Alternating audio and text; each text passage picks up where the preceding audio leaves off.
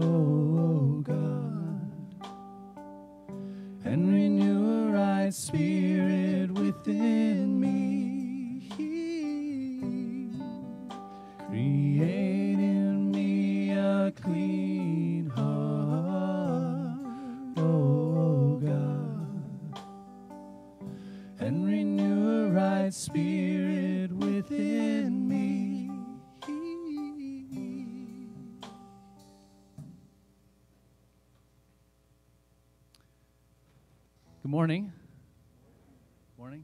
gather together in the house of the Lord, isn't it? Amen. I'm excited that our uh, governor is lifting some of the restrictions um, on uh, restaurants and all, and we're kind of working off of that as guidelines and whatnot in our church gatherings. So we'll thankfully be able to move towards having more people gathered together. Um, hopefully, as you entered in, you grabbed a bulletin there in the basket back there. There's also hand sanitizer and there's masks. We do want to. Um, be attentive to those directions and care for one another in these ways. So if you come in and you're like, I just touched tons and tons of things with my hands, I don't even know what that was, then maybe just there's one over there. There's actually one up here on the table, all over. And grab a mask if you didn't uh, bring one with you. Um, hopefully, you also grabbed a bulletin. Um, if you're watching online, it's our hope that we can be as sort of interactive with you as possible. And so we hope that you maybe printed off the bulletin from our uh, website, or if not, maybe you can follow along on our Facebook comments and you can participate as much as possible in our worship as we gather together uh, to worship the Lord. Um, I say this regularly, but I think it's really, really important, um, largely for you who are at home, uh, that if we're standing, try standing. If we're singing, even as awkward as it is, try to sing out, sing loud. Uh, we're going to sing the doxology, and I heard from Chris earlier that his kids know it really well, and sometimes they stand on their the edge of their couch and sing it out loud. So maybe you need to do that. Just stand and sing loud, even if you're by yourself. Um, enter in as much as you are able. That's what we long for for we who are here to do that. Enter in with all of our being, our heart, mind, and soul and strength. And that's what we hope for you who are not physically present with us. Uh, with that in mind, please stand, and we will hear this call to worship from our Lord from Psalm 57. I will give thanks to you, O Lord, among the peoples. I will sing praises to you among the nations. For your steadfast love is great to the heavens. Your faithfulness to the clouds. Be exalted, O God, above the heavens. Let your glory be over all the earth. Amen. Let's pray. Lord God, we, uh, we know that it's true now that indeed your your uh, glory, O Lord, is among all the peoples. Uh, Lord, you have spread your fame among all the nations. Lord, we hear from so many different backgrounds, and we think even today as we enter into the story of Daniel, of how you were doing that in so many different ways throughout the history of your people. God, we pray that as we've gathered together here in your name, that you would be present with us, that your glory would be among us, God. That as we sing to you, as we hear from you, as we taste of you, all these things that would be saturated with the reality of you with us, the Spirit within us, Jesus singing over us. God, be present today with us, we ask. Receive our praise, receive our prayers, receive us, we ask, in the name of the Father, the Son, and the Holy Spirit. Amen. Let's sing together.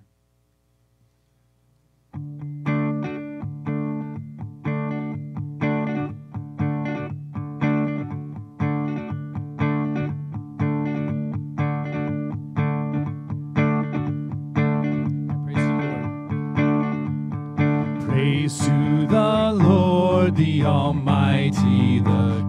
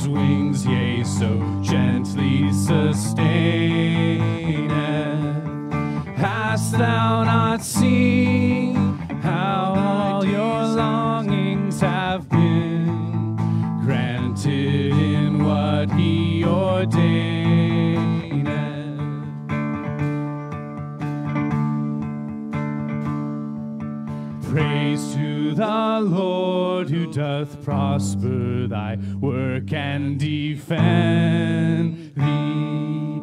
Surely his goodness and mercy here daily attend thee. Ponder anew what the Almighty can do if with his love he befriend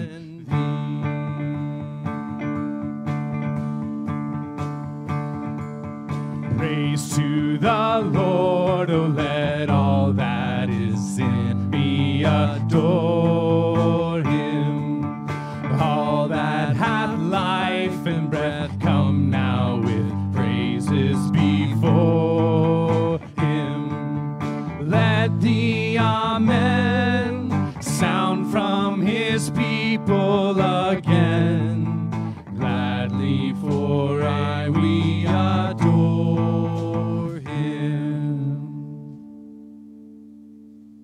great song? Amen.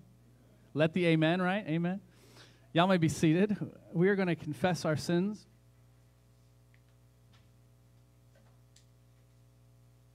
Knowing how our Lord is deserving of all praise and glory, and how we fall short of giving Him all praise and all glory, Him our entire lives, we're going to go to the Lord and confess our sins. Uh, my children have been memorizing some verses, and this was their verse for the week Exodus 22 and 3. And in this, these two verses put together, we see the gospel. We see that the Lord saves his people, and it's out of that salvation that they're called to live in a certain way. It's not that you, to earn it, or not to earn the salvation. This is listen how this goes, right? It's because of what he did that they live in such a way. But we go to the Lord and we say, Lord, we know what you've done, and yet we fail to live up to this standard, and so we confess. But I want you to hear this call to confession from Exodus 20. I am the Lord your God who brought you out of the land of Egypt, out of the house of slavery. You shall have no other gods before me. So let's go to the Lord and confess our sins, confess that we often put other things before Him, and then rest upon His grace. We're going to sing first, Create in Me a Clean Heart.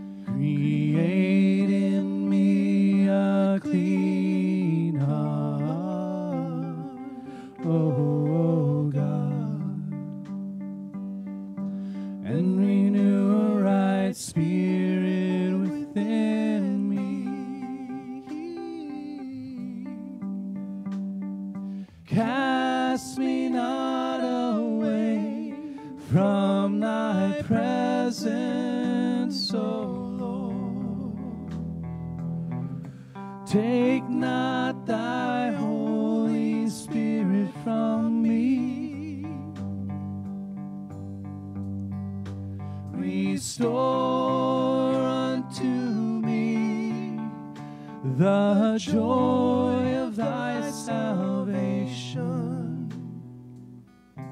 And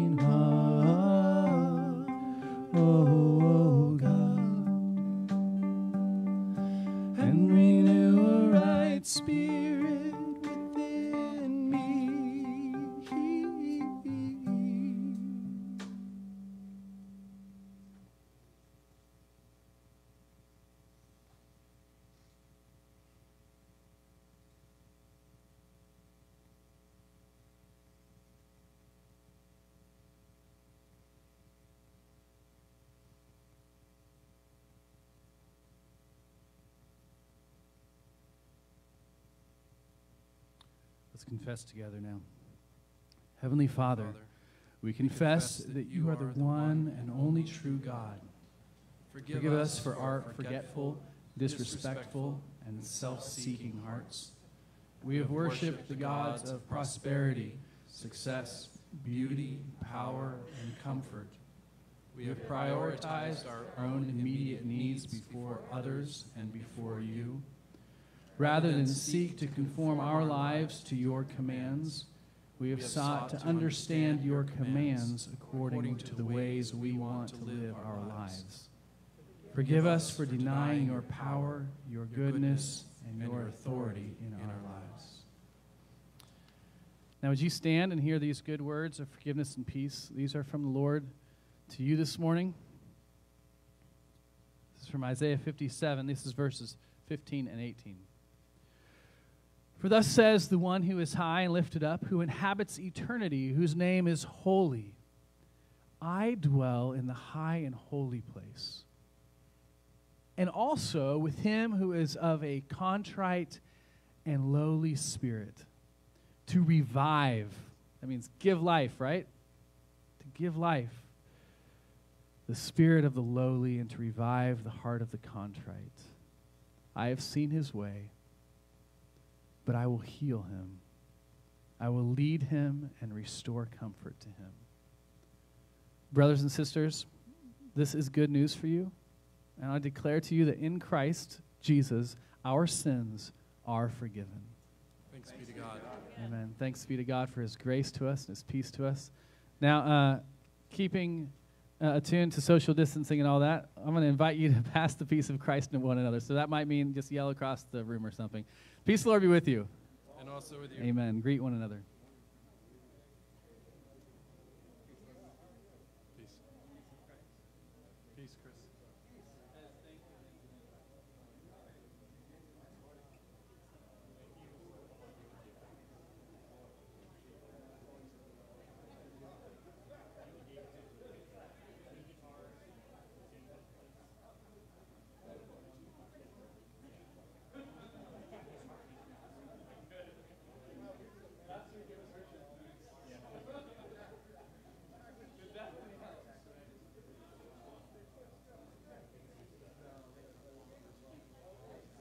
Oh, caffeine.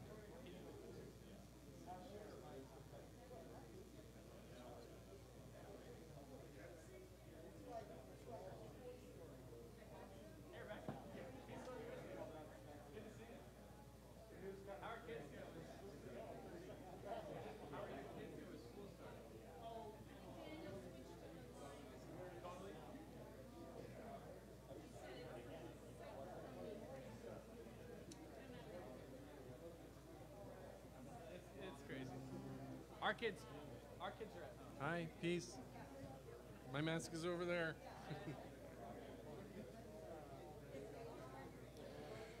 Brothers and sisters, let's get back oh, it's together nice to and again. sing the doxology together.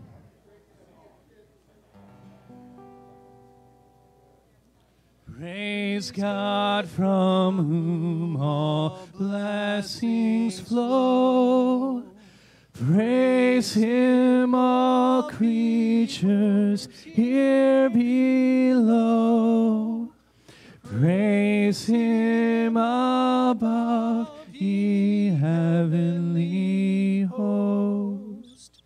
Praise Father, Son, and Holy Ghost. Amen. Let's sing that once more. Praise God from whom all blessings flow. Praise Him, all creatures here below. Praise Him above, ye heavenly hosts. Praise Father, Son, and Holy Ghost. Amen.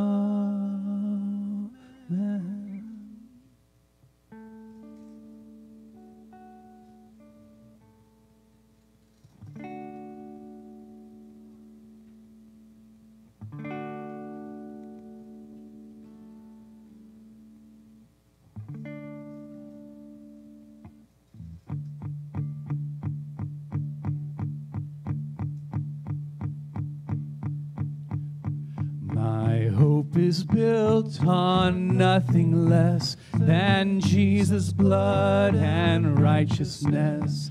I dare not trust the sweetest frame, but wholly lean on Jesus' name. On Christ the solid rock I stand, all other ground is sinking sand. All other ground is sinking sand.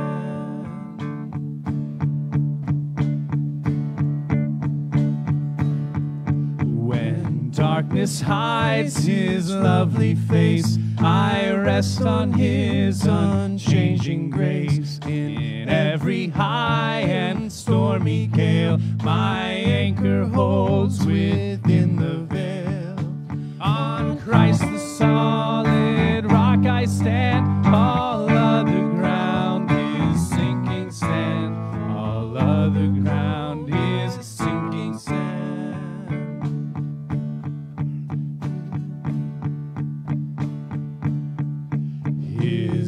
His covenant, his blood support me in the whelming flood. When, when all around my soul gives way, he then is all my hope and stay.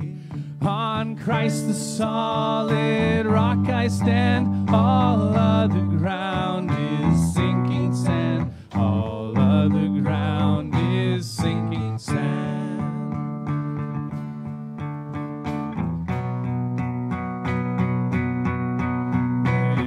shall come with trumpet sound. Oh, may I then in him be found, dressed in his righteousness alone, faultless to stand before the throne. On Christ the solid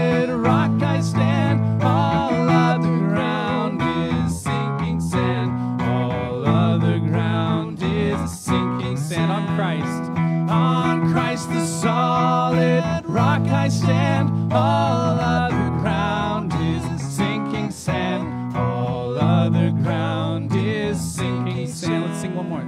On Christ the solid rock I stand, all other ground is sinking sand. All other ground is sinking sand.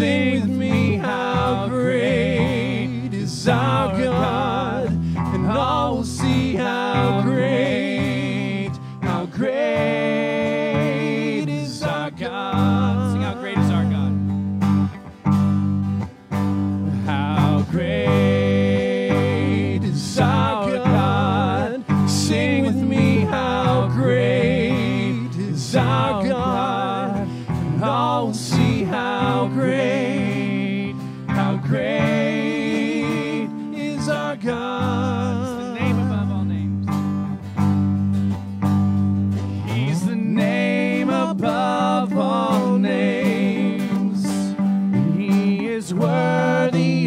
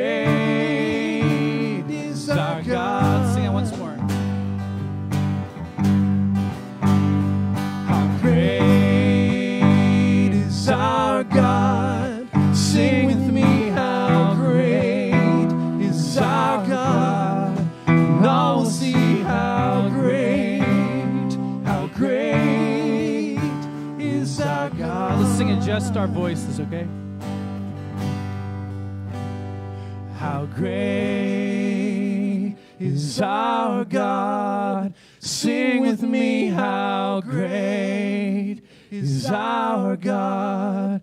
And all will see how great, how great is our God. Once more.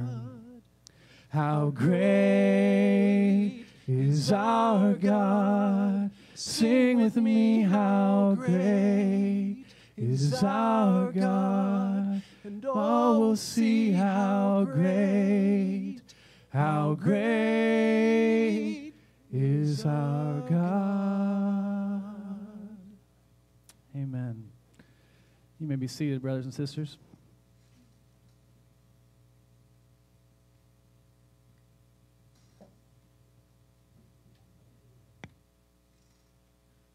Um, for our Living Our Faith time today, I wanted to mention just a few announcements. Um, there are a number of small group studies that are uh, coming back together. Some of them are being formed anew, and uh, most of these, not maybe not all of them, but most of them are one of the, the are ones that you can go to in person or you can kind of zoom in. Uh, just this past week, there's a women's Bible study that started uh, studying First Samuel, and that was meeting here. It's on, on Wednesdays from seven to nine. Uh, hopefully, you got uh, an email about that or you saw that in the newsletter. And that's one that some people are coming and some people are staying home. Um, so, you who are home, I'm looking at you right now, you can still be a part of this stuff, okay? Connect. Um, there's also a study that uh, at the Prescott studying the book of Revelation, uh, which I think is so daunting and also just really exciting and fun. Um, that's wonderful. And it, will actually hopefully go along well with the book of Daniel this fall here in our sermon series. Um, also, tomorrow morning, we're actually going to restart our breakfast group. Um, some of you were a part of that that used to meet on Wednesday mornings. We're going to do it on Monday mornings. So you can come here for breakfast from 7 to 8. We'll have eggs and bacon and stuff like that, coffee. And what we're going to ask is that you kind of treat it like a restaurant. Come in, wear your mask while we're hanging out. And when we sit down, we're going to set up a couple tables so people can not be right up in each other's grill and we can eat, we can study the scriptures, and we can pray together. Um, uh, and then, what else? Oh, on Tuesday afternoons, actually from 4 to 5. So there was a few people that were like, hey, I'd love to be a part of a Bible study, particularly a guy's Bible study. But that time in the morning doesn't really work for me, and these other t- so let's do something else. So the, starting this Tuesday from 4 to 5, so it's a late afternoon. Some, you, some people get off early from their work. We're actually going to be meeting at the Kemper's house. They have an outdoor place where we can hang out and we're going to study the Word together on Tuesdays. So hopefully you can get connected to our church in those different ways. There's one other thing that's happening that I want to mention, which is this coming Saturday, we're going to do a men's event. We're going to go canoeing on the Yellow Breeches, and then we're having a smoke off. I put cook off because it just the alliteration with canoeing and cook off. It's a smoke off, and we've got a few different people smoking ribs. And actually, I, I understand we might even have some friends who are like semi pros. So this is going to be like legit competition now. Um, and we're going to canoe, and then we're going to hang out and um, judge ribs, uh, which sounds wonderful to me. So those are some things that are happening in our life together, and I just really want to encourage you. Uh, do not neglect gathering together, even if that means like you don't you don't feel comfortable coming out here or to a small group. Get on a Zoom small group. Pay, you know, get connected as much as you are possibly able in this time. Um, it's deeply, deeply important to con- stay connected to the body of Christ. Um, with that, I want to uh, pray uh, for the children of this church. And uh, I want to especially pray, actually, generally, not for a family, but for those who are starting school right now. I, I feel like the burden right now is on uh, children as they make this transition. So we're going to pray for the children of this church and particularly bring uh, them before the Lord in terms of schooling. So let's pray. Uh, Lord God, we're thankful for the children of this church. We're thankful for the, the little, little ones and for the big ones, those who have gone off to college, um, those who even, uh, I think of Reagan McClymont now, who's heading out to work with NOLS in Wyoming for the semester. College is looking different uh, for lots of folk. Um, high school is looking different. Uh, think of uh, Daniel James uh, doing online completely and Logos here's looking different, Lord, uh, wearing masks all the time, children running around still, but staying in their classrooms much more. And Some of us have kids at home. Some of us have kids doing part time at home and part time at school. God, we pray that you would be with the parents of these children. Uh, be with those whose um, sports has been affected, their relationships with their friends have been affected. God, I pray that they would bring all this before you. And they would find that you're the one who meets them in times of difficulty, that you meet them in the challenges. Um, that often, actually, it's in these times where you show up the most and are most uh, obviously present. God, we pray that you would do that in the lives of the children of this church.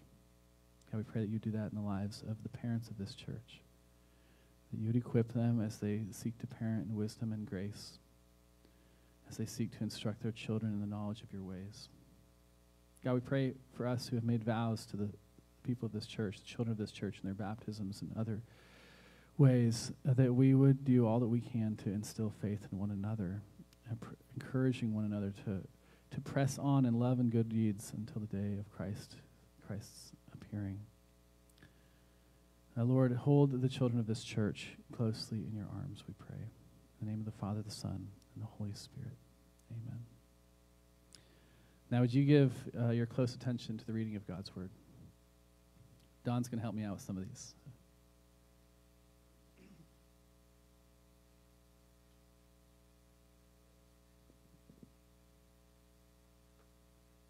The first reading is from Psalm 137, verses 1 to 4.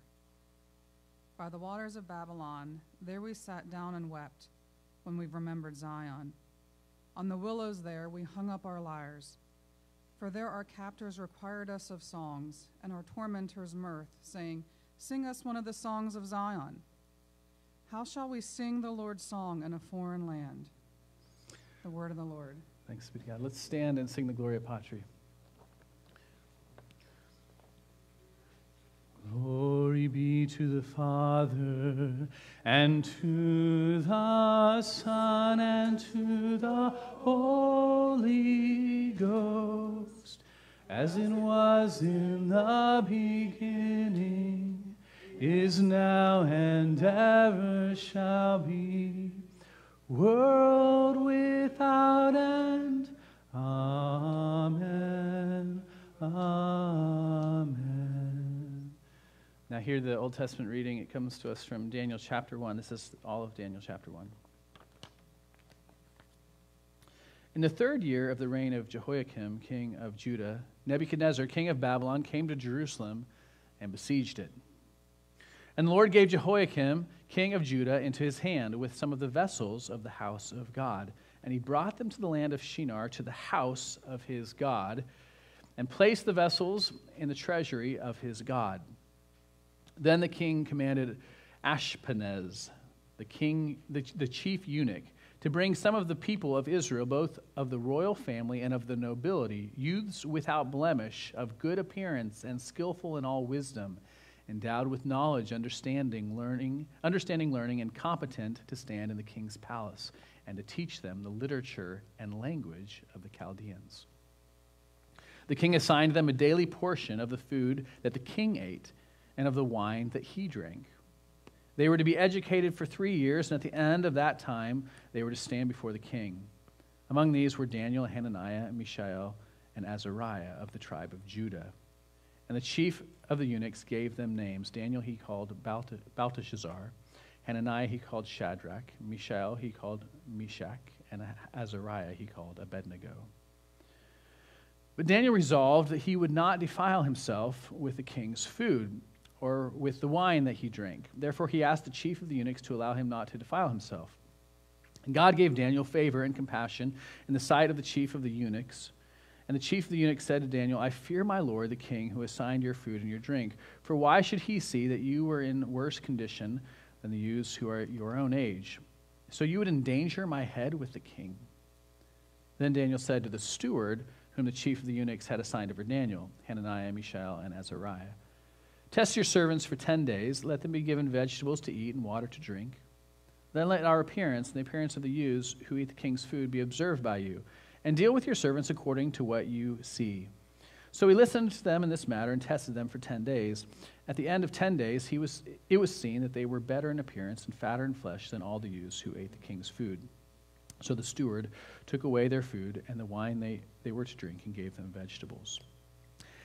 As for these four youths, God gave them learning and skill in all literature and wisdom, and Daniel had understanding in all visions and dreams. At the end of the time, when the king had commanded that they should be brought in, the chief of the eunuchs brought them in before Nebuchadnezzar, and the king spoke with them. And among all of them was found none was and among all of them none was found like Daniel, Hananiah, Mishael, and Azariah. Therefore they stood before the king. And in every matter of wisdom and understanding about which the king inquired of them, he found them ten times better than all the magicians and enchanters there were in, in all of his kingdom. And Daniel was there until the first year of King Cyrus. This is the word of the Lord. Amen. A New Testament reading comes from Colossians 4.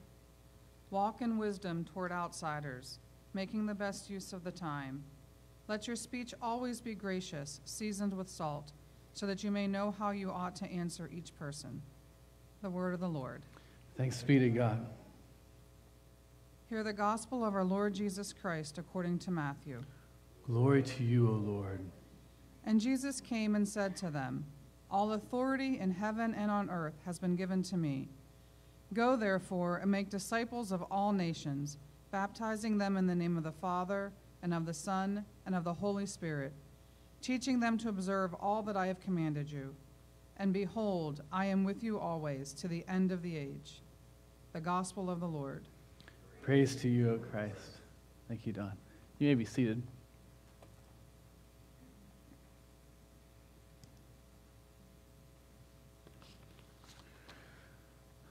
Okay, I'm just going to say, Chris Gazy, help me with this one a little bit. Um, I want you to imagine with me a kid who grows up in Pittsburgh. Of course, he bleeds black and gold. His room is just full of it, like posters all over the place. You look into his drawers, and there's just black and gold clothes. Like for Christmas, what, what does he receive? He receives like Steelers jerseys and Penguins hats and, you know, Pittsburgh shirts and stuff like that. That's just his life. Um, his parents grew up in the 70s when the city was known as the city of champions. Oh, I taught y'all something, all right? It's still called the city of steel, of steel I think. City of champions. Um, and then he, this, this guy actually, he was in uh, elementary school, and he was a big, big fan when, again, in 2009, it, it, re, it, sort of revived that name, the City of Champions, because both the Penguins and the Steelers won the national championships in their respective sports. Um, so this guy is just full of Steelers stuff, right? I mean, you can picture this because I feel like I'm not, you know, I'm not from Pennsylvania, and I see these people, like black and gold. That's just it, right? Um, it's uh, it's his life. He goes to Pitt for college he continues to wear black and gold during that time, even though their colors somehow didn't match like the rest of the city colors. But then after college, of all places, he gets a job with the Eagles. All right? Um, so what's he do? He's like, no, I'm not taking the job. Well, he, took, he takes the job, right? So what's he do? Does he get all new clothes? I mean, he only has black suits and gold ties, right? What's he going to do? Got to get some, some blue, right? Or green. Uh, I was thinking of the Phillies. I don't know what's going on here. Um, how does he remain? This is the question. This is the driving question for this guy. How does he remain faithful when he's living in Philly? Now, y'all don't have to deal with that because we're in the middle of those, and you can just kind of choose what you want. You know, Baltimore, Washington, whatever. Harrisburg's like, what everyone, everyone talks about Harrisburg being right in the middle. So you don't have to deal with this, but for this kid, it's like complete agony. Okay, here's what I am suggesting to you, though, is actually this, this might seem like an, a story that you can go, okay, I can picture that. And it might seem distant, right? Pittsburgh, Philly. But you know, actually, this is not a very distant thing. It's not actually a very distant idea. This is the thing of all kinds of movies. I mean, one of my favorite scenes, and I've used this as an illustration before, is of Andy in Shawshank Redemption, right? Blaring out over the speakers of the, of the prison courtyard the beautiful opera of Mozart. Sort of just fighting a, resistance of assimilation, right? Saying, I'm not going to assimilate to this. Or you can think of plenty of other movies. I'm thinking of Neo and The Matrix and all kinds of other stuff. But this is actually something that we kind of know this idea of somehow we have to fight assimilation. Don't let it get you completely.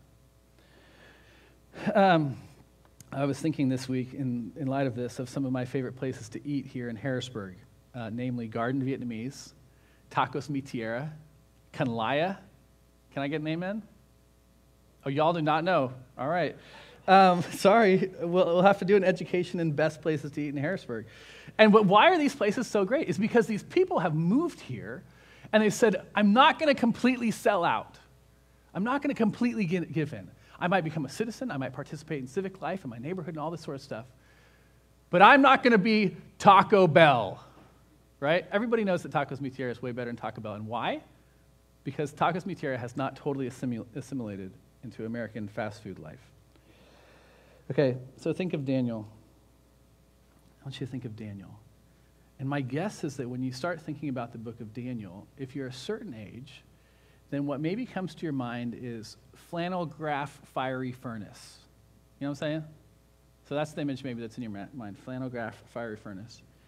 Maybe when you think of the book of Daniel, what comes to your mind is that time when you were trying to diet and your friend was like, Oh, I got some books for you. They're Bible books. Here's the, these are actually real book names. The Daniel plan. Here's the Daniel fast. Here's the Daniel diet. So maybe you think, oh, this is, this is like how people use the Bible, the book of Daniel. Maybe you think of that great song, that great song that some people used to sing. I'm kind of kidding. Dare to be a Daniel. Dare to be, I can't sing it. I actually tried to listen to it a few times. I just couldn't get it in my head. Dare to be a Daniel. Dare to stand alone. Dare to have a purpose firm. Dare to make it known. Or maybe you remember the time that you were reading through the Bible in a year and you got to the book of Daniel and you were like, yes, these stories. I love all these stories. Then you got to like the second half of the book and you're like, apocalyptic confusion all over your head. Don't know what's happening here, right? Okay, so we're going to try to tackle the book of Daniel up until Advent. Um, and I think there's lots of good reasons for us to do that actually right now, sort of in the life of our church, in the life of our world about us. I think there's a lot of good reasons for us to do this. And today we're looking at chapter one, and, and this chapter really does set us up well for the book as a whole.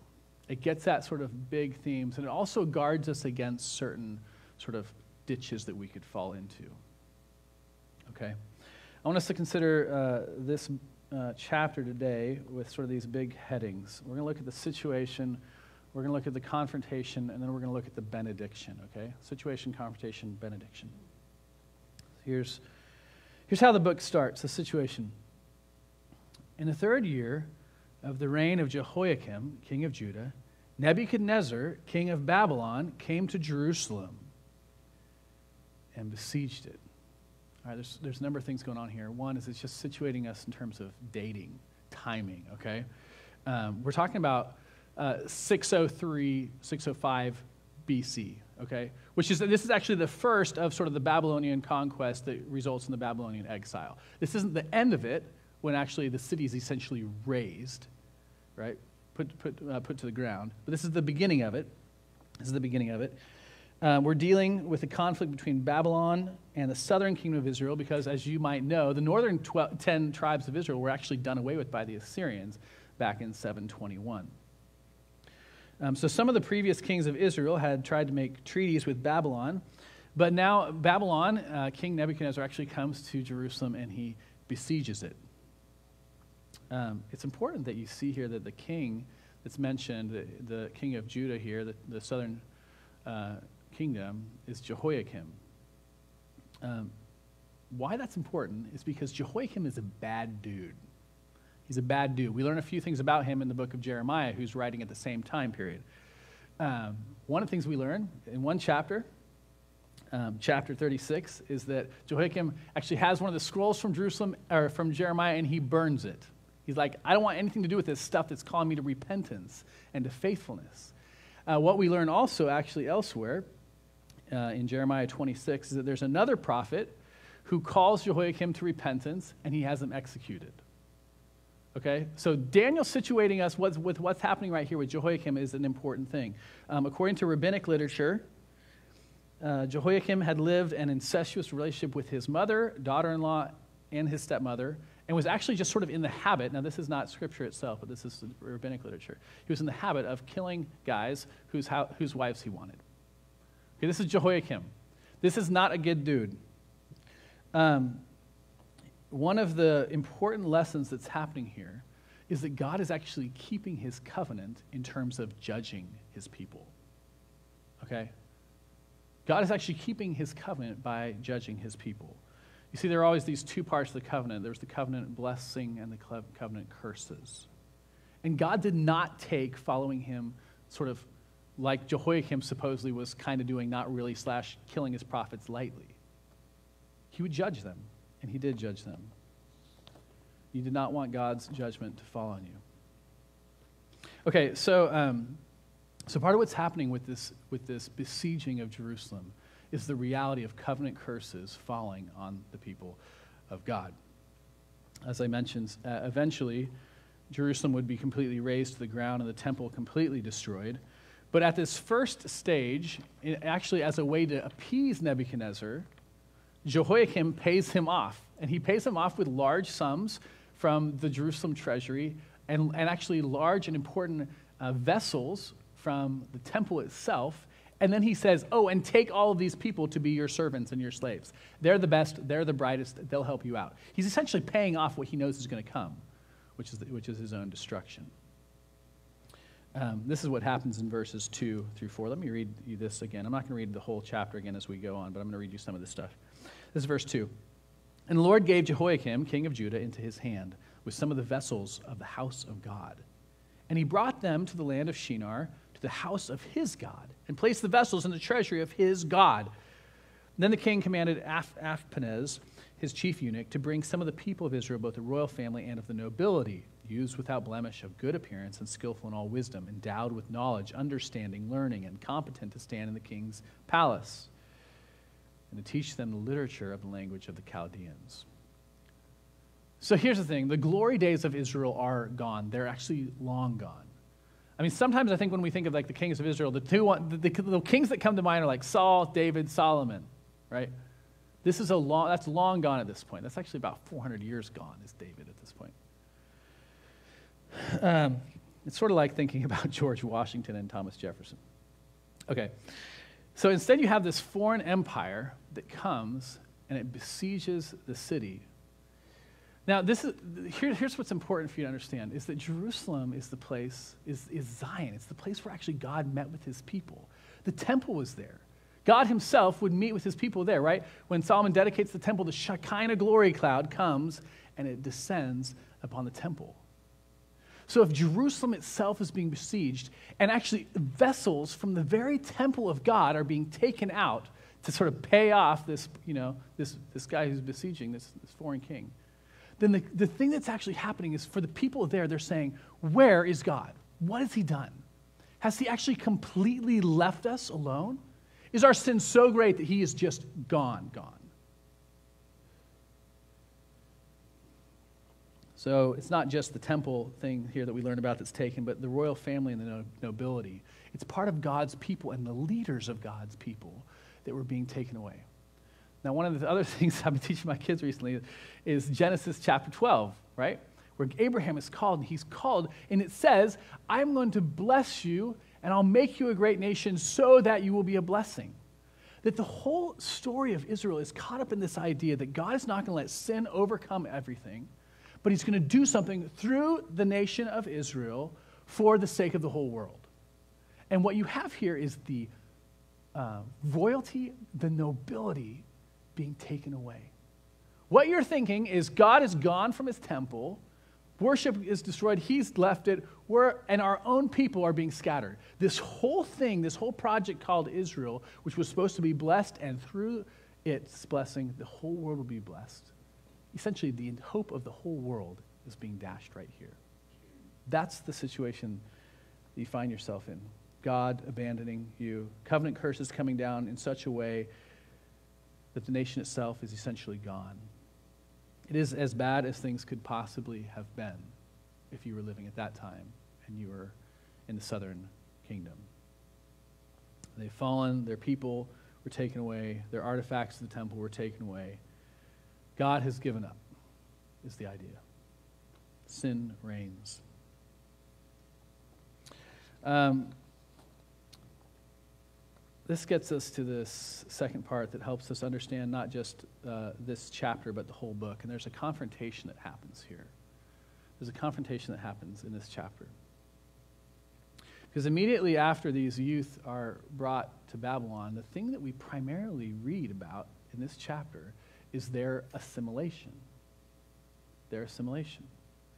Um, I mean, I imagine that they were, as sort of all refugees are, they're worried, right? They're going to this new place. Are they going to find jobs? Are they going to have friends? Are they going to learn the language? Are they going to be able to make it? Right? And they're worried, as refugees would be worried. What will they find? Will they make it?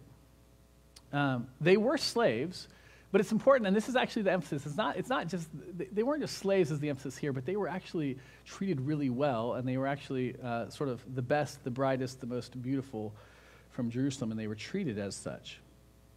Um, here's what's happening Nebuchadnezzar knows what he's doing. I mean, if you have all these people that are pretty educated and they're bright, they're tra- well trained, and you've got a kingdom elsewhere, the worst thing that maybe you could do with them is just kill them off. Instead, what Nebuchadnezzar's thinking is, oh, I can use them in my court for my ends, for my purposes. Okay, so let's not wipe out these able bodied, well educated folk. Let's retrain them. Okay, so one of the things you heard in there is that he teaches them the language, right? Uh, he teaches them maybe the, the cuneiform of, his, of their place Sumerian, Akkadian. They could study the, the Babylonian flood myths, the Epic of Gilgamesh, the Code of Hammurabi. The, they could study the texts, their religious texts, texts of great gods like the great god Marduk. Um, they probably learned some really amazing things. I don't know if you know this, but ba- the Babylonians were the first uh, people that we know of to use aqueducts. And one of the great wonders of the ancient world were the hanging gardens in Babylon. So maybe Daniel and his friends were actually learning amazing uh, feats of engineering and how those things came about. Um, you might know this, but it's the Babylonians that gave us the base unit 60 and understood that 60 seconds were in a minute and 60 minutes were in an hour and sort of mapped out that sort of initial time frame. They also figured that 360 is the circumference, uh, the unit of circumference. Here's what I'm suggesting to you Nebuchadnezzar knew what he was doing. He totally knew what he was doing. He was going to take these guys, and he was going to train them, he was going to use them he was going to assimilate them completely into Babylonians. Um, now, here's what's going on, though. Okay, so back in Jerusalem, you've got this crazy king, Jehoiakim. You've got, um, you know, your city's being besieged. You've already got the 10 northern tribes who were totally decimated 118 years earlier. And you're looking back at that place and you're thinking, God's gone, the king, you know, the king's a wreck, all this is happening. Wow, look at my life in Babylon. I mean, this is looking pretty nice right now. Okay, so they receive new names. It says the chief eunuch gave them names. Daniel he called Belteshazzar, Hananiah he called Shadrach, Mishael he called Meshach, and Azariah he called Abednego. And we know this, right, that names have consequences. Names have consequences. They tell you about who you are. Um, names tell us about our ethnic background, sometimes our social background, our educational background. Um, many families, as you know, probably many of your families, changed their names when they came to the United States, maybe through Ellis Island or somewhere else. They changed their names because they knew that their names uh, would have consequence on their current life. Um, let me share with you some sort of famous names whose names were changed. Um, Whoopi Goldberg was Karen Johnson. Whoopi Goldberg is such a great name. I mean, she chose wisely there, right? Like, half, I wonder if her career is largely because what a great name. Um, Terry Gene Bolette, he changed his name to Hulk Hogan. That's pretty tough. Hulk Hogan. Terry Gene Bolette's like, it's French. It's not that tough. And I love French. So. For you who are watching and don't know that, I'm not knocking the French. Um, Kirk Douglas was born Isur Danielovich Demsky. Fred Astaire was Frederick Austerlitz. Bruno Mars was Peter Gene Hernandez. not as cool as Bruno Mars. And that's a great first name, Peter. Um, Stevie Wonder. Stevie Wonder was Steve Land Junkin, Judkins. I mean, Stevie Wonder, it just sells. We know that our names have consequence in the world. Names are more than just names. Um, as a friend pastor of mine, uh, Doug Serven, said, they're identities. Names are actually give, give you a sense of identity. It's who you are. Uh, this friend who used to do RUF with me, he, he went on to say, So what if your name is Christian and you get rechristened Success or Beauty or 4.0 or Success or Vixen or Scholar or 40 Under 40 or Wife or Mom or Husband or Father or Stud or Good Girl or Bad Girl or Wasted Effort or Trophy or Sugar Daddy or Funny Guy Class Clown or Most Likely to Succeed? Saying that your name is part of your identity. It shapes who you are. Names speak to who we want to be. Our identities can be scrambled up, right? Can be all scrambled up. But an interesting thing here in this passage is that Daniel and his friends actually they seem to go along with the whole name thing. They're like, yeah, new place, new name. Okay, we have, there's nothing going on there with that part of the text. It just says, oh, they got a new name. They seem to have gone along also with their education. I mean, there's no sense here in Daniel chapter 1 that they kind of go and hide and make some Christian subculture. You know, there's no like Christian ghetto here with the king's people. We don't have any sense of that. They're not like, uh, no, no, I can only read uh, Christian books. I can only listen to Christian music. I can only go to Christian school. Uh, all this other stuff, no. Babylonian music, Babylonian education, can't do any of it.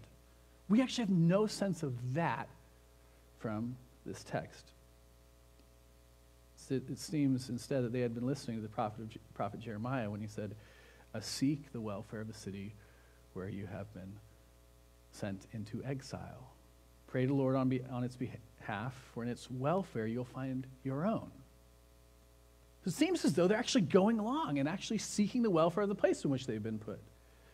Um, again, if you were Daniel and his friends, and Jerusalem was Jerusalem at the time, right? Besieged, under attack multiple times before it finally falls. And you had this great education before you. Um, I don't even know, to be honest, if you'd be tempted to retreat into a ghetto. I mean, you're thinking, this is what happened over here with this whole nation thing. Why don't I just totally assimilate? This looks like the good life. Um, think about it like this.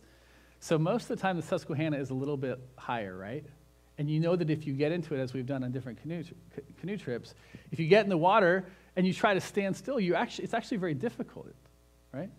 Um, now, right now, it's not quite the case. You can just kind of walk across actually almost the entire thing without getting very wet. I haven't tried, but I've seen people out there. Um, now, this is what I'm suggesting. In some ways, what they're doing right now is it would, it would just be easy to kind of step in and just kind of be taken away with it. It'd, it'd be sort of how the Susquehanna normally is just get in and float along with how things are going. And yet, they don't, do, they don't quite do that. There's still this, this story of confrontation here. There's this uh, confrontation with Daniel and his buddies and the king's food and the king's drink. Um, there's lots of ideas about why is it that Daniel and his friends won't eat the king's food and the king's drink. Maybe you've heard some of these.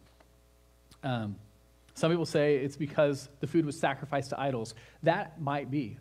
Um, we know that they didn't have refrigeration then, and so you had to get your milk, or your milk, that too probably.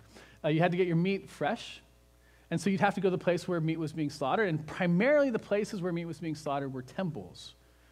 You know, cows, whatnot, they'd be brought there, they'd be offered as a sacrifice, they'd be slaughtered, and then some of the meat would be sold. Uh, this discussion actually happens in 1 Corinthians chapter 8. And Paul there says, follow your conscience, essentially. Um, and there's, so, so here, We have no sense, let me say this, we have no sense in this text that that's what's happening. There's no mention here of this, I can't eat this because of that. You know? There's no like, this is connected to the temple, even though we can sort of defer that it might have been. But that doesn't seem to be what Daniel's getting at here. And it's certainly not consistent with the whole of Scripture, given what Paul says in 1 Corinthians 8. Okay. There's other arguments. Uh, one of the ones that I mentioned is the argument from diet. Daniel is just thinking, well, vegetables and water will make us stronger and fatter. Except that when you think about it, you're like, that doesn't really work that way, does it?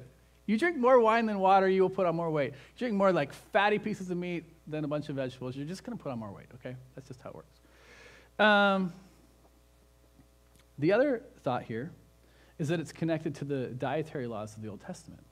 But once again, there's nothing in this passage that's saying, and King Nebuchadnezzar loved to eat only pork, shrimp, and other restricted animals that the Israelites weren't supposed to eat. None of that. There's just none of that. Okay. So, what is happening? I mean, what's the big deal? Why make a stand here? Um, well, I think, quite honestly, the best argument is the argument from Tacos Mi Tierra. Okay? This is the argument, essentially. We're going to move here, you know? We're going to send our kids to your school. We're going to play sports. We're going to start becoming fans of some of your teams. Uh, we're going to get involved in our neighborhood associations. But we're going to eat our food because we have to stand somewhere so that we know we are not Babylonians. We worship a different God. We do not worship uh, Marduk. We are from a different place. We are not Babylonians. We are people who long for Zion. You heard Don read to us from um, Psalm 137, saying, How can we sing the songs of Zion in a foreign land? They're saying we have to take a stand somewhere because the other option is total assimilation. Your name may be called now Belteshazzar, which is way harder to say than Daniel, but you're first and foremost a child of God. That's what he's saying. You may learn about civics, you may be called into politics, but you have a different king. Let me put it this way you may be registered as a Democrat or Republican, you may work in politics, but your citizenship is first in heaven. And if there's something going on that says this is who you are completely, then it's saying don't go down that road. Don't go down that road. You may have all the allurements of assimilation all around you, but you're first and foremost the Lord's. Um, now, I want to say this. It's interesting to me that Daniel and his friends, um, they don't really make a big deal about this, really. Did you notice that they don't like, there's no like protest signs, there's no marches. They kind of go, I mean, in fact, it just says Daniel really goes to the chief of the eunuchs. And then the chief of the eunuchs kind of says, you know, I might die if you guys do that.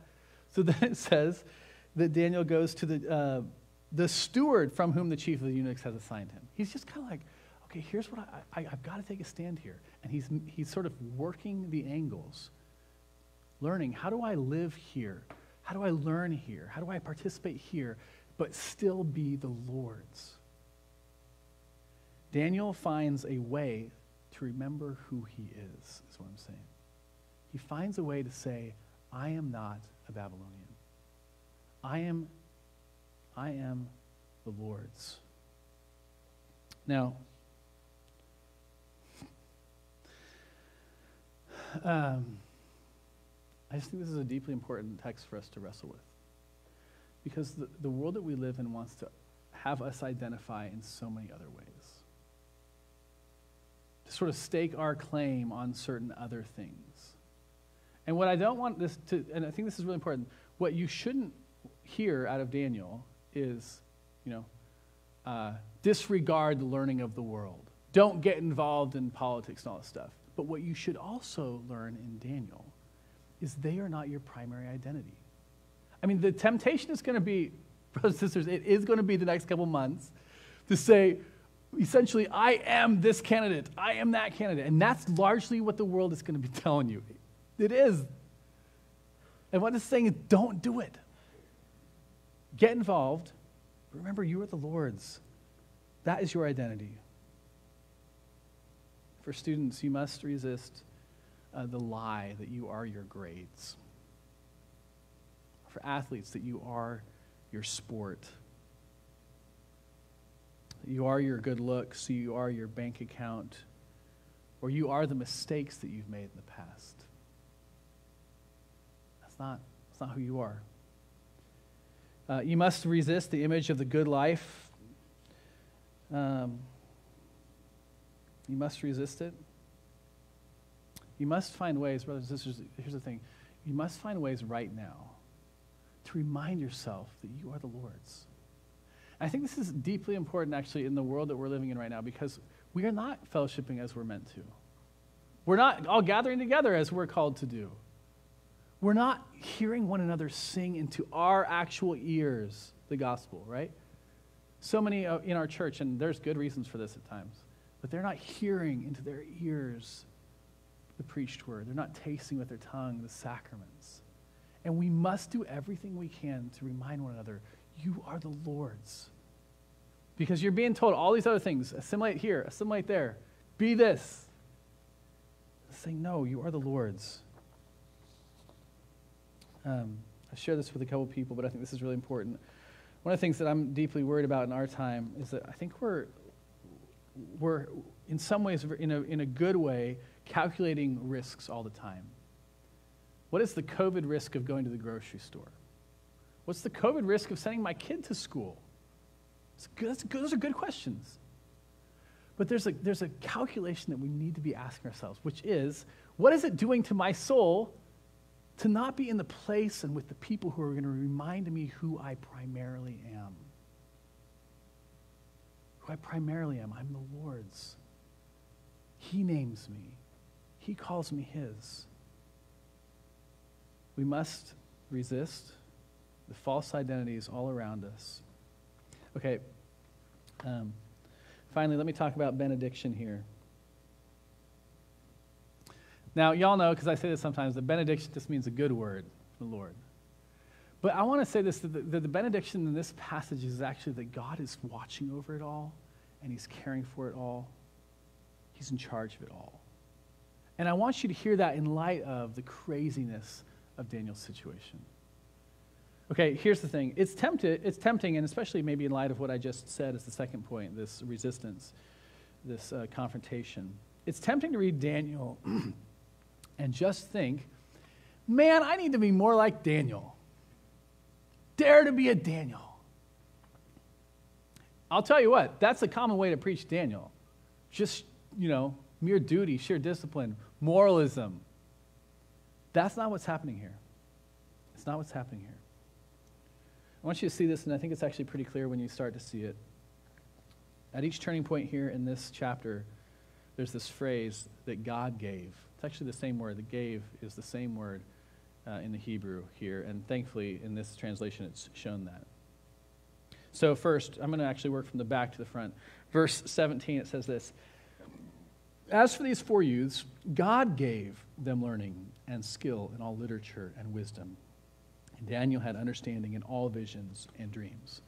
There's no sense in that verse that, as for these four youths, because of the vegetables and water, they were really, really bright. Or uh, these four youth, because they took a stand, it's just, and God gave.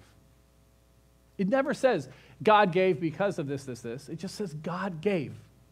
God is the one who's acting here. He's the one who's watching over them in their situation, and He is giving them blessing.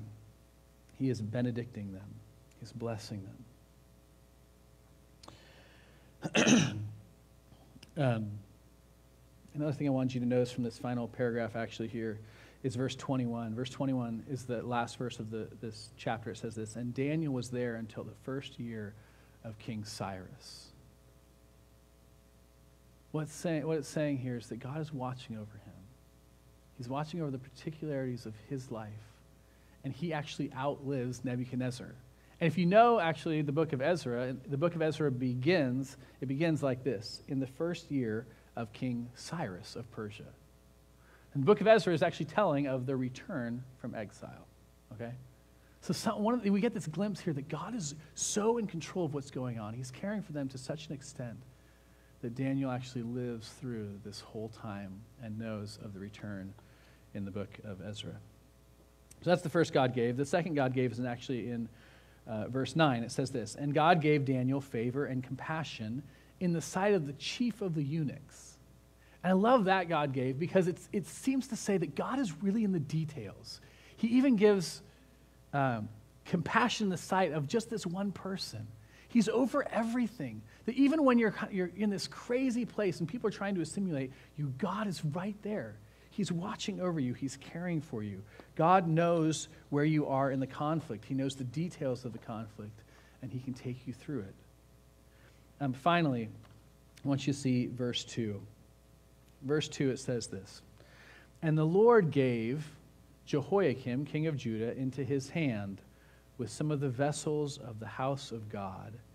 And he brought them to the land of Shinar, Shinar, to the house of his God, and placed the vessels in the treasury of his God. Okay, now this is a crazy one. Like the first two God gaves that I read, 17 and 9, they're like, yeah, that's kind of nice. God's watching over us, He's giving us favor. But this is God gave Jehoiakim into the hand of Nebuchadnezzar. And then actually the second clause is, and the vessels from the temple that he takes and he puts in the house of his God? I mean, this God gave is not remotely the kind of God gave that we would think of, would be great and encouraging. The southern kingdom of Jerusalem is, is in uh, destruction and demise, and uh, Babylon, this great military might, is taking them over, but it's God who's watching over it. God is in charge of it still.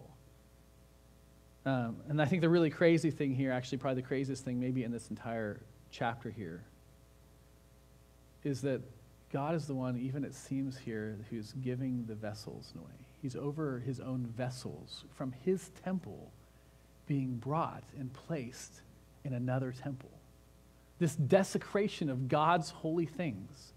I mean, I want you to think about this, okay? This is deeply important because what's happening there, these vessels were used to worship God, right? And they're, they're in the place where God meets with his people. And now that place is being slowly taken apart. It's being slowly taken apart and taken elsewhere. Um, one commentator that I read about this passage said this Everyone would have been singing at this point, Praise Marduk, from whom all blessings flow. Because if the t- vessels of the temple are going to be taken and desecrated, then that means that this God is no God at all. He loses, is what's happening here. He's put to total shame. They would have been laughing about the God of Israel. Oh, yeah, his vessels are just taken and brought into other gods. He's nothing. Don't think anything of him. This would have shown that he is not remotely in charge. God suffering shame, God's vessels being given to another God, everyone laughing and thinking this God had completely failed. Now, um, I think this is important that we sit here for a second because as Christians, this is actually at the heart of the gospel message that we proclaim. It's right at the heart. That God actually leaves his glory, right? And he goes and dwells among his enemies. And he's hung on a cross and he's actually laughed at. He's mocked. And everybody thinks that God, there's nothing going on there. Dead. You follow a dead God. But that's actually the gospel message. That when we think everything is hopeless and lost, God is actually working through it all and he's bringing his redemption. I mean, Daniel's still there when King Cyrus comes to the throne. God working resurrection life through death. That's actually what's happening. It actually happens all the way through the book of Daniel. Okay, I want to uh, close with the illustration because um, I want to, again, speak to the idea that it's tempting in this book to just to look to Daniel. But God is doing something so much greater. Um, some of you know, and some of you remembered well, I hope, the events of 9 11 this week. I learned this week of Heather Penney. You, uh, you might have heard of her. Um, she was uh, a lieutenant in the Air Force. Uh, she uh, flew an F 16 on that day. Um, after the first and second crashes, you probably remember this, probably many of you remember this. Um, a lot of people thought that we were at war and there's this other plane that was headed for the capital. And so, uh, folk there in D.C. and around D.C. Um, got ready, but of all things, this is actually unbelievable. Uh, Edwards Air Force Base had no ammunition on that day. Did you know this? this a, I, maybe some of y'all know this. I just found this amazing. That there's just no ammunition for the Air Force at Edwards Air Force Base on that original 9 11. So um, Lieutenant Penney was called up by her colonel, and he said, We're going up. We're going up. I'll take the cockpit. And she replied, I'll take the tail. What they were doing is they were going to use their planes as missiles that day. I mean, reflecting on it later, she said it was a kamikaze mission. We didn't know what we were, what we, how this was going to end. Now, now we know the story of those who were in the in the in flight 93, right? That actually landed here in Pennsylvania. We know that that great story. But all they knew was they were being called to faithfulness on that day to the job that they were doing. Here's what I'm suggesting to you. You're being called to faithfulness right now. You're being called to fight assimilation right now. You don't know where that's going to take you. It might seem like the most dangerous and crazy thing you've ever done. But behind the scenes, God is at work in a way that you, you could never imagine. He's protecting you in ways that you could never possibly imagine. And He will take you through. He will. Because this is not a story about Daniel, it's primarily a story about God. It's primarily a story about God and His care for His people, His faithfulness, His sustaining them, His giving them strength, and His bringing resurrection life out of death. Let me pray for us. Lord, God, I pray that as we enter into this story of the book of Daniel, that you would give us hearts that love you more and more. God, in the particularities of our lives, God, would you help us to know um, when to receive new names and when to not eat the meat? God, this takes great wisdom. Or we I confess that we often don't know what we're doing, but you do. God, I pray that you'd sustain us in the battle. Do your work in us, we pray, for our good and for the glory of your name. In the name of the Father, Son, and Holy Spirit. Amen. Would you stand and we'll recite the creed?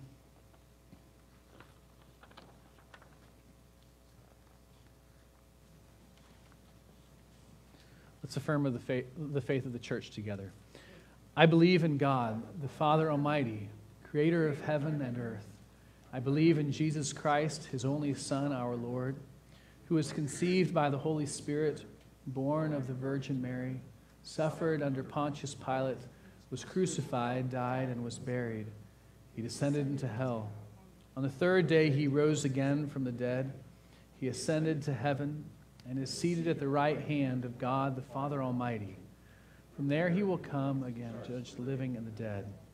I believe in the Holy Spirit, the Holy Catholic Church, the communion of saints, the forgiveness of sins, the resurrection of the body, and life everlasting. Let's go to the Lord in prayer using these uh, prayers of the people here that you have printed before you. Um, I'll, I'll begin our prayer with the first um, little paragraph, and if you would uh, subsequently pray, pray paragraphs, that would be wonderful. Pray so that we can all join our voices together. We'll have some silence between each one to lift up our petitions to the Lord. Let's pray. We praise and thank you, O Lord, that you fed us with your word. Grateful for your gifts and mindful of the communion of your saints, we offer to you our prayers for all people.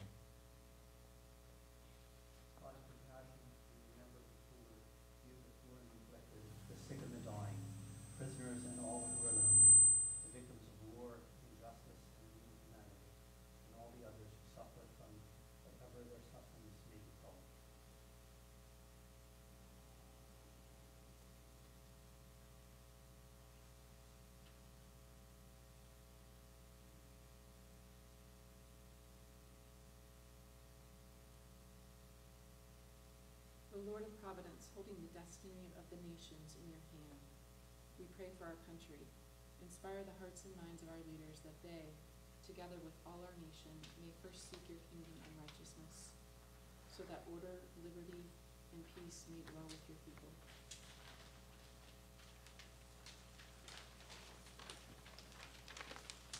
O God, the Creator, we pray for all nations and people. Take away the mistrust and lack of understanding, lies and greed.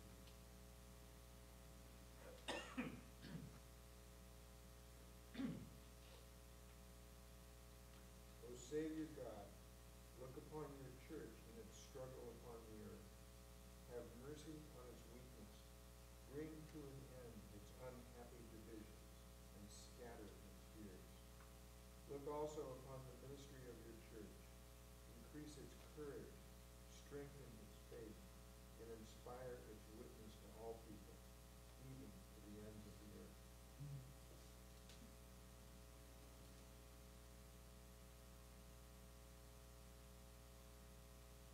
Author of grace and God of love. Send your Holy Spirit's blessing to your children here present. Keep our hearts and thoughts in Jesus Christ, your Son, our only Savior. Amen. Let's continue praying and ask the Lord's blessing upon our tithes and offerings. Lord in heaven, we do ask that you would um, look with favor upon us as we bring to you our, our gifts, our tithes, our offerings, our time, our talents, our whole being. Um, God, use these uh, jars of clay. Uh, fill us with your spirit to overflow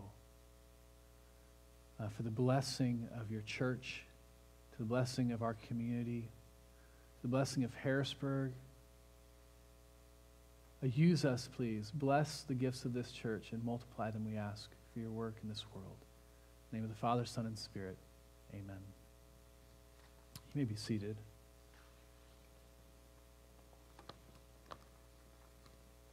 We're going to the Lord's table, and here we are celebrating uh, this reality that God Himself was desecrated, that He left His holy place uh, for us, that He gave His life, that He was mocked, that He was spat upon, He laughed at, and derided for us. Uh, he died to bring resurrection life for us. This is the good news. This is the good news that we feast upon, that we celebrate. That Jesus' body, the body of God incarnate, would be broken for us. That his blood, the blood of the perfect, spotless Lamb, would be shed for us. And what we're asking the Lord to do in and through this sacrament too is to conform us to his image, his likeness, to shape himself in us. Because the temptation all around us is to look all other places for it. Where is our identity? In all these other places. And this here, the Lord is saying, Take and eat of me. Feast on me. Make me your life. So if you know Jesus, if you believe in him, that his, his mocking and his shame is for your life, if you've been baptized and you belong to him, then come and take this meal. If you don't, consider this good news that this is what God would do for you. Brothers and sisters, the Lord be with you. Lift up your hearts. Let us give thanks to the Lord our God. It is. We thank you, Creator God, that you made us in your image and breathed into us the breath of life. When we turned away, our love failing and our bodies diseased, you reached out to us again and again, providing healing, wholeness, and new life. When the flood came, you provided an ark. When the plagues came, you provided safety. When evening came, you provided a pillar of fire. When exile came, you provided a new song. Day after day after day, your love remains steadfast. And so, with your people on earth and all the company of heaven, we praise your name and join their unending hymn. We're going to do this sort of call and response game. Holy, holy, holy Lord. Holy, holy, holy Lord. God of power and God of power and might. Heaven and earth are full of your glory. Heaven and earth are full of your glory. Hosanna in the highest. Hosanna in the highest. Blessed is he who comes. Blessed is he who comes. In the name of the Lord. In the name of the Lord. Hosanna in the highest. Hosanna in the highest. Hosanna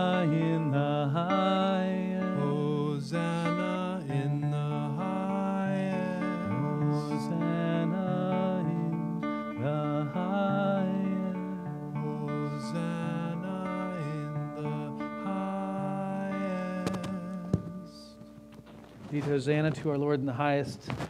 On the night in which he was betrayed, he took bread, and having blessed it, he broke it. And he gave it to his disciples, and he said, Take, eat. This is my body, which is broken for you. Do this in remembrance of me. And after the supper, the Lord took the cup and said, This cup is the new covenant in my blood, shed for many for the forgiveness of sins. The Apostle Paul adds as often as we eat this bread and we drink this cup, that we proclaim the Lord's death until he comes again. Therefore, let us proclaim the mystery of our faith. Christ has died, Christ is risen, Christ will come again. Lord Jesus, we long for you to come again, to take us to our home, our citizenship being in heaven. God, I do pray that you would um, make in us, even this fall, a deeper longing for heaven, a deeper ache to be home with you, a, a deeper self understanding that we're pilgrims, that we're traveling through, that we're refugees, that we're longing for our home. God, we pray that you would sustain us in this time. Spirit, that you would descend upon us, that you would sanctify us for your good work in this time. Spirit, give us faith as, as we come to this table, as we take this bread and this wine. Would it be for us the body and blood of Christ? That we be the body of Christ redeemed by the blood of Christ? Would you pray this in the name of our Lord who taught us to pray, saying, Our Father, who art in heaven, hallowed be thy name. Thy kingdom come, thy will be done, on earth as it is in heaven. Give us this day our daily bread, and forgive us our debts as we forgive our debtors. Lead us not into temptation, but deliver us from evil. For thine is the kingdom, and the power, and the glory forever and ever. Amen. Brothers and sisters, Christ our Passover was sacrificed for us. Therefore, let us keep the feast. Now, I've mentioned this before, but we're not doing communion as we typically have done, where people come forward.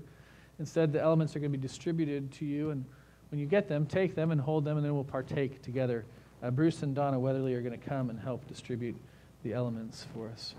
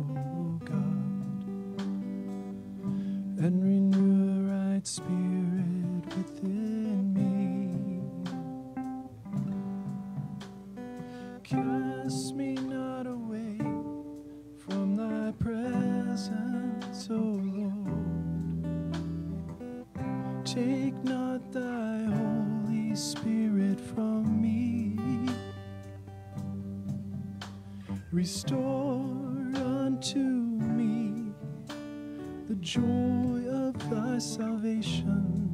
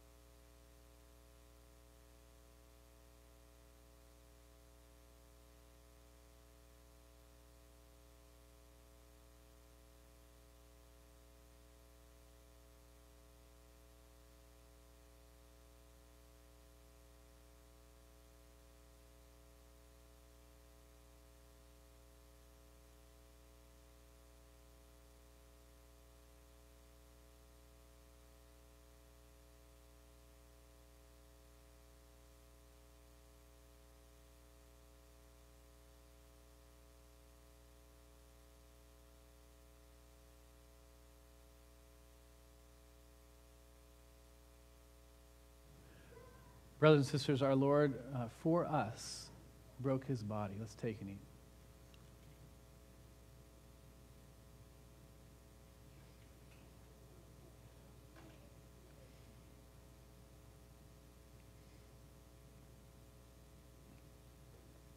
And for us, his perfect, perfect blood was shed. Let's take and drink.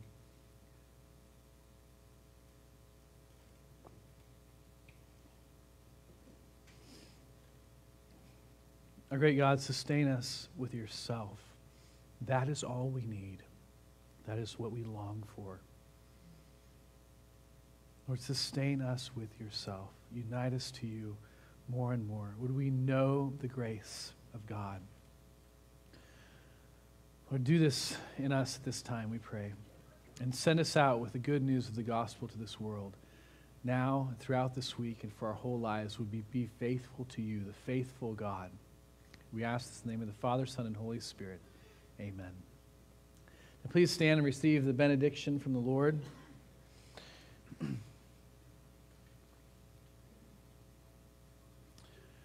grace of the Lord Jesus Christ, the love of God the Father, and the fellowship of the Holy Spirit be with you now and forever. In the name of the Father, Son, and Holy Spirit. Amen. Now, we're going to uh, sing this song that we sang for the first time last week. I'm not going to teach it to you again. Maybe some of you will remember it, and if not, we'll just kind of learn it as we go along. Um, hopefully, some of you will remember this song.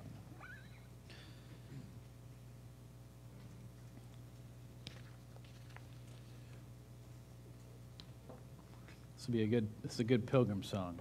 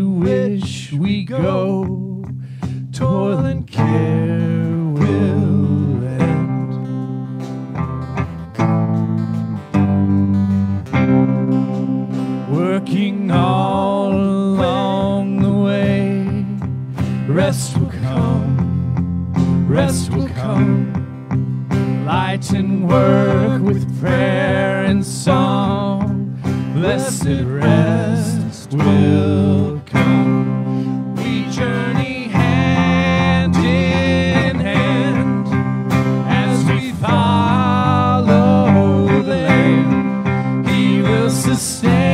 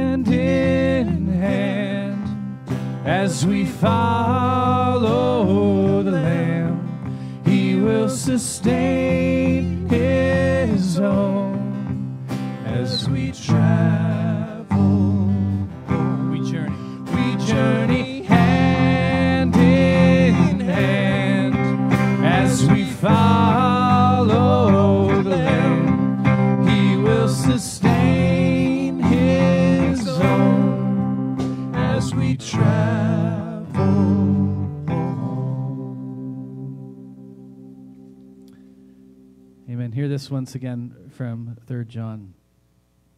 I hope to see you soon, and we will talk face to face. There'll be a time when we're not wearing masks, y'all. Peace be to you. The friends greet you. Greet the friends, each by name. Peace, Lord, be with you. Amen. Amen.